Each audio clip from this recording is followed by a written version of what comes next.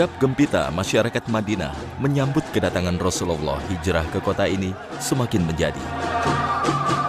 Setelah wanita mulia, Asma binti Abi Bakar melahirkan seorang bayi mungil. Sang jabang bayi diarah keliling kota Madinah sebagai ungkapan syukur atas kelahiran pertama dalam hijrah Rasulullah Shallallahu Alaihi Wasallam.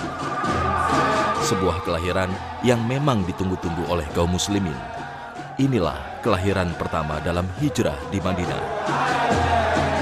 Sang jabang bayi kemudian diberi nama Abdullah.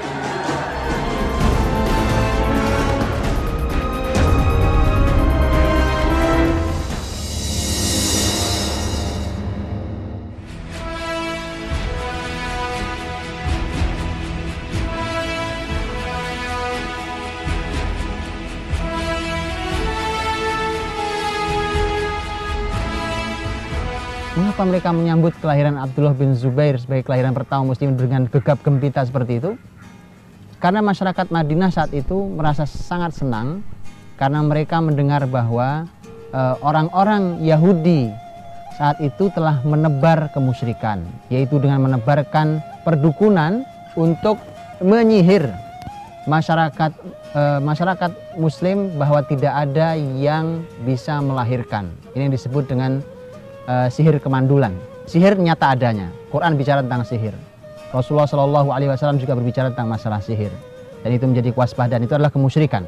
Dan ternyata sumber salah satu sumber besarnya dunia adalah Yahudi. Yahudi mengirimkan sihir kepada orang-orang uh, muslimin saat itu dengan mengancam bahwa kalian tidak bisa melahirkan.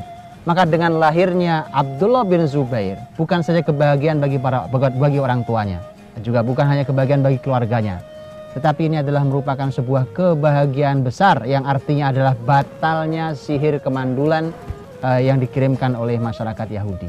Dengan demikian Abdullah bin Zubair ini uh, dilahirkan di kota Madinah uh, walaupun aslinya adalah Mekah tapi dilahirkan di Kuba dan uh, dia adalah bayi pertama yang menandai uh, hilangnya dan batalnya kemusyrikan yaitu uh, sihir dari orang-orang Yahudi. Sejak sebelum hijrah, kaum Yahudi banyak tinggal di kota Madinah, khususnya di kawasan dekat Kuba. Sebagian mereka sengaja datang dari Syam ke Madinah untuk menyambut datangnya Nabi akhir zaman yang tanda-tandanya sudah dikenali dengan jelas dalam kitab Taurat.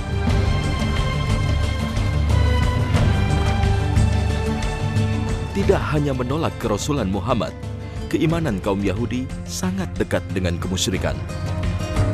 Itulah mengapa kaum Yahudi sengaja menebar sihir kemandulan saat kaum muslimin hijrah ke Madinah. Kemusyrikan itu ketika itu adalah merupakan kerjasama antara manusia dan setan, maka orang beriman harus berhati-hati. Itulah mengapa Allah Rasulnya mengajarkan berbagai macam zikir dan doa. Ada zikir dan doa pagi sore, ada berbagai macam hal yang harus kita baca dalam momentum tertentu. Dari kita mau tidur hingga kita tidur kembali dalam banyak kesempatan Salah satunya adalah untuk menjaga kita dari uh, berbagai macam gangguan sihir itu. Dan Rasulullah SAW telah mengingatkan, orang beriman tidak boleh percaya kepada perdukunan. Rasulullah Wasallam menyampaikan dalam hadis beliau yang diriwayatkan oleh Imam Muslim, man atakahinan au arrafan fasa'alahu an syai'in lam tuqbal salatuhu arba'ina lailah. Siapa yang datang ke dukun, kemudian mendengarkan ucapan dukun, maka tidak diterima sholatnya 40 hari lamanya. 40 hari sholat tidak diterima. Untuk itu bukan hal yang sederhana. Sekali Anda datang, 40 hari sholat ditolak. Bayangkan kalau Anda tidak sholat, dua kali lipat Anda punya dosa. Anda tidak sholat, bahkan sholat sekalipun ditolak. Untuk itu, perdukunan itu adalah kemusyrikan yang tidak sederhana. Itu kalau Anda datang, kemudian uh, sekedar bertanya. Tapi kalau sudah sampai membenarkan, Rasul bersabda dalam hadis yang sahih. Diriwayatkan oleh Imam Ahmad dalam musnadnya man ata kahinan au arrafan fasalahu an syai'in fasaddaqahu bima yaqul faqad kafar bima unzila ala Muhammad. Siapa yang datang ke dukun, bertanya kepada dukun itu, membenarkan ucapan dukun itu, sungguh dia telah kafir terhadap apa yang diturunkan kepada Muhammad Shallallahu Alaihi Wasallam. Itu artinya dia telah keluar dari Islam. Sehingga muslimin harus bersih dari kemusyrikan. Kemusyrikanlah yang mencederai tauhid kita, yang mencederai keimanan kita. Sehingga ketika Allah berfirman wala tamutunna illa wa muslimun, kalian jangan mati sampai yakin bahwa kalian telah muslim ternyata tidak sederhana ketika hidup di negeri yang uh, sangat banyak kemusyrikan mempertahankan mati dalam keadaan muslim adalah merupakan tugas yang sangat besar karena ternyata keimanan keislaman seorang cacat dengan uh, kemusyrikan. Kebesaran nama Abdullah tak lepas dari sentuhan keluarganya.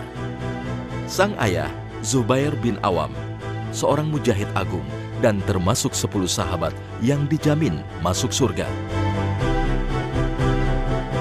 Sementara ibunya, Asma, putri sahabat mulia Abu Bakar Siddiq. Dengan begitu, ia menjadi keponakan Aisyah, istri tercinta Rasulullah Shallallahu Alaihi Wasallam. Di lingkungan keluarga mulia inilah sosok Abdullah terbentuk. لا أطلب البيعة لنفسي في هذا الآن بل مقرونة بالعهد والوفاء لبيت الله الحرام نحميه ونفديه نحميه ونفديه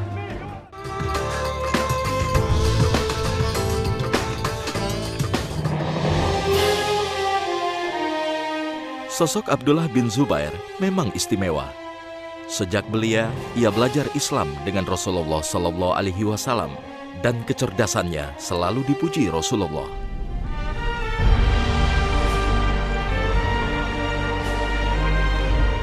Di usia tujuh tahun, ia datang ke Rasulullah Sallallahu Alaihi Wasallam, menyatakan bayat setia di hadapan Rasulullah.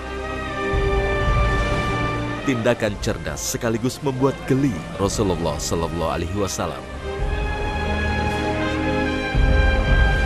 Semangat keislaman yang demikian inilah yang membuat dirinya dicintai keluarga Rasul. Aisyah, istri tercinta Rasulullah, bahkan sempat meminta izin agar dipanggil sebagai Ummu Abdullah atau Ibu Abdullah. Abdullah pun tak hanya tumbuh dengan kecerdasan yang istimewa, tapi juga memiliki fisik yang kuat dan perkasa. Ada sebuah riwayat yang uh, menarik dan itulah yang disebut oleh para ulama sebagai uh, awal kekuatan fisiknya. Di mana Abdullah bin Zubair saat itu dipanggil Nabi Shallallahu Alaihi Wasallam dan Nabi saat itu baru selesai uh, hijamah berbekam. Kemudian uh, Rasulullah SAW berkata pada Abdullah bin Zubair, Abdullah bin Zubair ini darah ini uh, dituangkan uh, di tempat yang orang tidak tahu. Ternyata kemudian esok harinya Nabi bertemu. Sudah Abdullah bin Zubair kata Abdullah bin Zubair sudah. Kau tuangkan ke mana? Kata dia saya minum. Uh, tidak boleh salah persepsi karena ini adalah darah Nabi Shallallahu Alaihi Wasallam. Apa yang dari fisik Nabi semuanya adalah wangi. Sebagaimana disebutkan dalam riwayat. Keringat Nabi pun wangi dalam riwayat hadis yang sahih. Uh, ini hanya khusus untuk Rasulullah Shallallahu Alaihi Wasallam. Maka Nabi Shallallahu Alaihi Wasallam mengatakan Abdullah bin Zubair, kelak engkau akan menjadi fitnah bagi manusia. Manusia pun demikian kepada dirimu. Para ulama menjelaskan kalimat itu artinya bahwa Abdullah bin Zubair akan memiliki kekuatan fisik yang tidak lazim, tidak seperti kebanyakan manusia maka uh, ini adalah yang mengawali kekuatan fisik selain memang dia adalah orang yang sangat rajin berlatih menjadi seorang kesatria dalam berbagai macam keahlian dari mengendarai kuda hingga kemampuan senjata.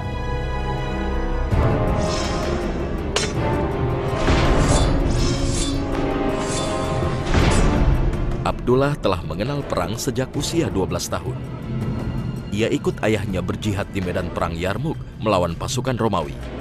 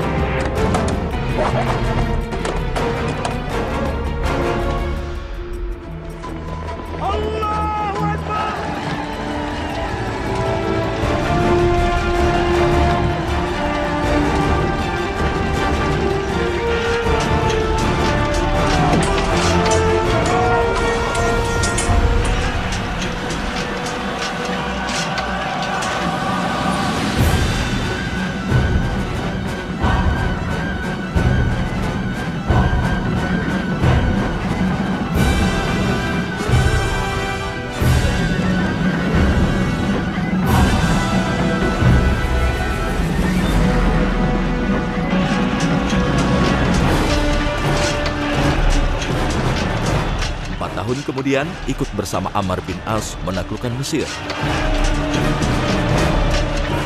Dan keperkasaannya tercatat dalam sejarah saat menjadi penentu kemenangan dalam perang besar melawan Romawi di Afrika.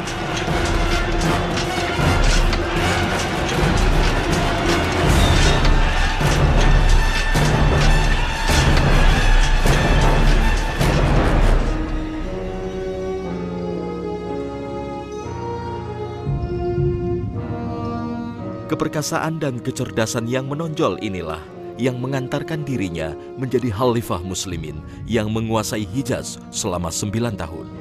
Uh, dia suatu hari berkumpul dengan teman-teman sebayanya, seusianya, dengan saudara-saudaranya, uh, dengan satu orang sahabat yang lain. Mereka berkumpul di Hijr Ismail. Majelis berkumpul empat anak muda hebat dalam Islam empat anak muda dalam Islam itu kemudian mengganti atau memulai ya, memulai majelisnya dengan mengatakan now yuk hari ini kita uh, berpikir atau menyampaikan keinginan kita masing-masing tentang masa depan kita. Yang pertama berbicara adalah Abdullah bin Zubair radhiyallahu anhu. Dia mengatakan uridul khilafah. Aku ingin kekhilafahan. Aku ingin menjadi khalifah. Aku menjadi orang nomor satu di kalangan muslimin. Itu keinginan sah untuk menginginkan itu Kemudian setelah itu yang berbicara adalah saudaranya Urwah bin Zubair. Uridu an yu'khadh aniyal ilm. Saya ingin menjadi tempat manusia mengambil ilmu. Jadi orang jadi seorang ilmuwan, jadi ulama besar. Itu keinginan Urwah bin Zubair. Kemudian Mus'ab bin Zubair, saudaranya juga. Dia mengatakan, "Uridu imratal Iraq waz zawaj min Aisyah binti Talhah wa Sukaina binti Husain." Saya ingin memimpin Irak Entah mengapa pilihannya jatuh di Irak. Uh, saya ingin memimpin Irak dan saya ingin menikahi Aisyah binti Tolhah dan Sukainah binti Husain. Dia menyebut nama dua wanita yang saat itu dikenal dengan kecantikannya. Kemudian yang keempat adalah Abdullah bin Umar radhiyallahu anhu dia mengatakan uridu an yaghfirallahu li. Aku ingin Allah mengampuni diriku. Ini juga pelajaran yang sangat-sangat mahal. Mengapa kita takut bermimpi? Bermimpi gratis, tidak bayar. Bermimpilah yang besar tentang kebaikan di masa depan kita. Kenapa kita takut bermimpi? Anak-anak muda itu bermimpi. Abdullah bin Zubair bermimpi ingin menjadi seorang khalifah. Terbukti. Bahkan Abdullah bin Zubair tidak perlu dia melakukan intrik politik, tidak perlu melakukan berbagai macam kasakusuk yang tidak benar. Dia hanya menciptakan dirinya sebagai seorang yang seorang muslim yang baik, seorang ahli ibadah, seorang ahli ilmu, seorang ahli kepemimpinan, dia layak menjadi pemimpin bagi muslimin Biarkan kemudian jalan itu menemui takdir kita. Upaya ini menemui jalan takdir kita. Di saat itulah kemudian kita akan mencapai apa yang kita inginkan sesuai dengan takdir Allah Subhanahu wa taala. Sebagai seorang khalifah muslim yang berpusat di kota suci Mekah, Abdullah selalu merawat Ka'bah dan melayani para peziarah. Dialah yang memugar Ka'bah sesuai dengan fondasi yang ditetapkan Nabi Ibrahim alaihi salam.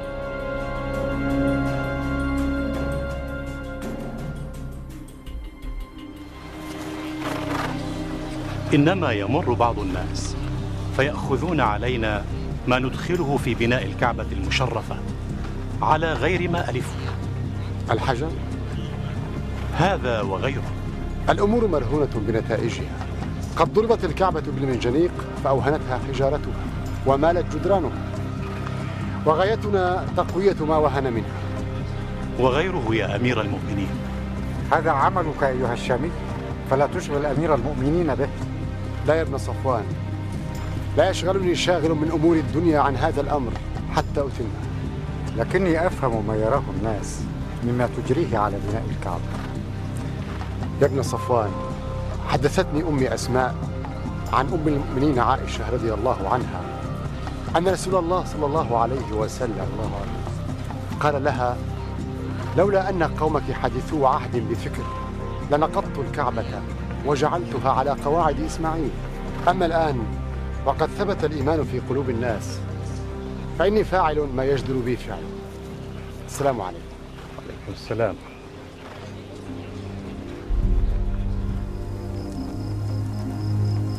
Sebagai cucu mendiang Abu Bakar Siddiq, Abdullah juga dikenal sebagai ahli ibadah. تقبل الله يا أمير المؤمنين لقد أطلت السجود حتى ظننتك لن تنهض منه لو صرفت دهري ساجدا بين يدي الله ما وفيت بعضا من فضله السلام عليكم وعليكم السلام ورحمة الله وبركاته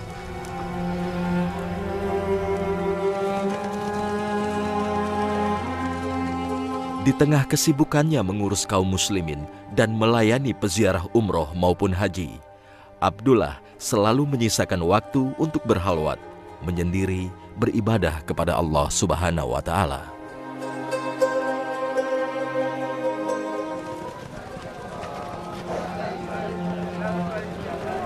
Kekusukan solatnya bahkan membuat penduduk Mekah heran. Karena jika berdiri, duduk atau sujud, ia seperti batang pohon yang tidak bergerak sehingga selalu dihinggapi burung merpati. سيصل صلاة بصلاة وسوف يطيل وقوفه بين يدي الله تقبل الله طاعتك يا أمير المؤمنين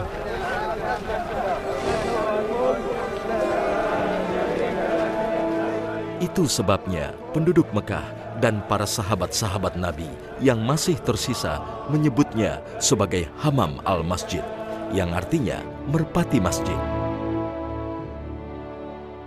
Dia tidak ridho dengan ibadah yang kecil dan sederhana. Untuk itulah mengapa dia eh, bahkan tawar-menawar dengan Nabi bukan ingin menurunkan ibadah, tetapi eh, dia ingin agar ibadahnya lebih banyak. Maka dikenallah dia sebagai seorang ahli ibadah. Eh, bahkan Abdul Malik bin Abdul Aziz meriwayatkan eh, dari pamannya yaitu Yusuf bin Majishun dari Istiqoh dengan sanatnya. Dia mengatakan begini, Abdullah bin Zubair eh, membagi malam itu menjadi eh, tiga di dalam sepanjang tahun jadi tiga. Falailah huwa qaimun hatta sobah eh, satu malam di mana dia berdiri sampai pagi. Yang kedua adalah lailah huwa hatta sobah di mana satu malam dia rukuk hingga pagi dan walailah huwa sajid hatta sabah dan satu malam dia bersujud hingga pagi hari. Pada tahun 72 Hijriah, Mekah diserang seorang jenderal bengis dari Taif, Hajjaj bin Yusuf.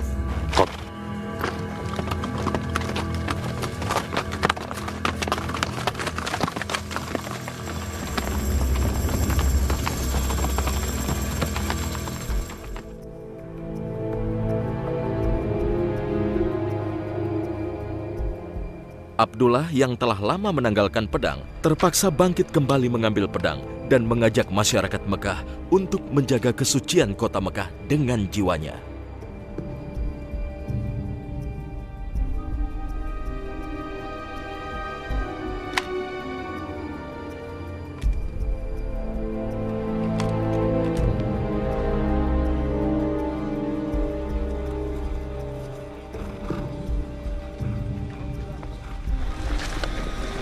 السلام عليك يا أمير المؤمنين ورحمة الله.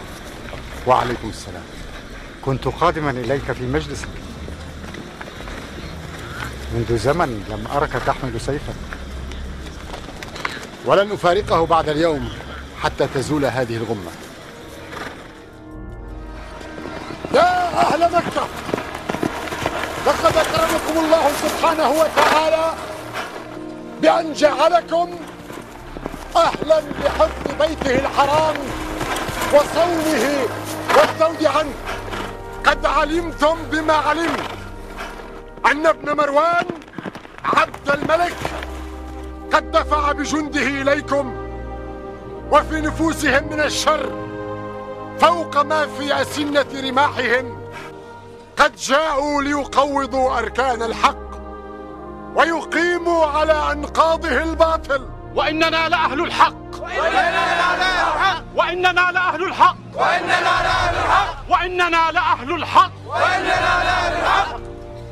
يا ابن الزبير اثنتان لا ينازعك فيهما أحد من أهل الأرض. العبادة والشجاعة. وهذه والله تولد من تلك. وإنك رجل لم ترد الدنيا طرفة عين. ولكنها الدنيا وأطماعها توقفنا هذا الموقف. وإن أمير المؤمنين كما ذكرت ولكننا نواجه أمرا لا يقوم به إنسان فرد. فما ترون يا قوم؟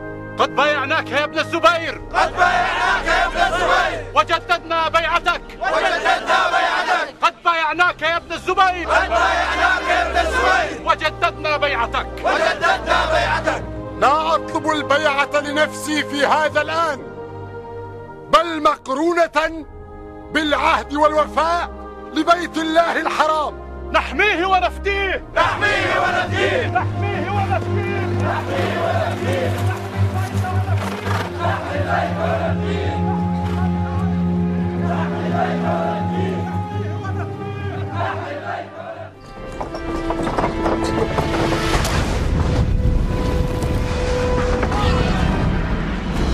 Sekitar tujuh bulan, kota Mekah dihujani bola api yang dilepaskan dari ketapel di sekitar perbukitan kota Mekah.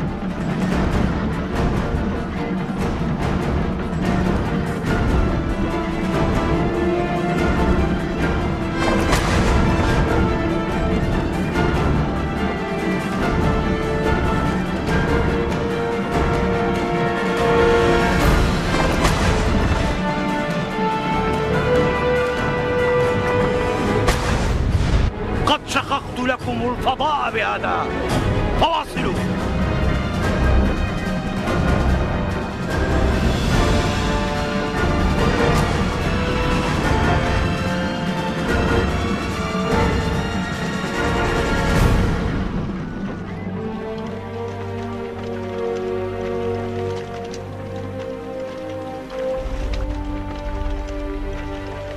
Serangan ini tak hanya mengakibatkan jatuhnya korban, kerusakan, dan ketakutan di kota Mekah, tapi juga merusak Ka'bah yang baru saja direnovasi Abdullah bin Zubair.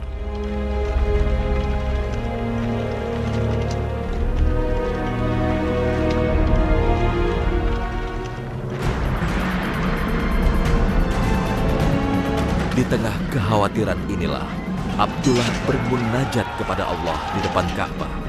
Ia tak mempedulikan teriakan dan lalu lalang senjata yang mengarah pada dirinya. Hingga akhirnya, sebuah anak panah melesat dan mengenai dirinya yang tengah kusuk melakukan sholat. Abdullah pun jatuh dan meninggal dunia di usia 73 tahun. Allahumma inni ahbabtu liqa'ak liqa'ak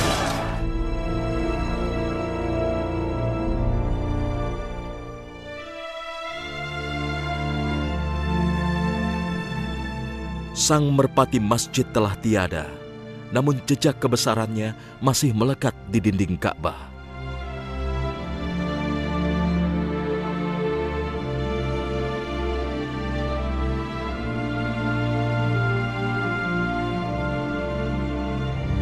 Tempat yang paling disucikan umat manusia di muka bumi.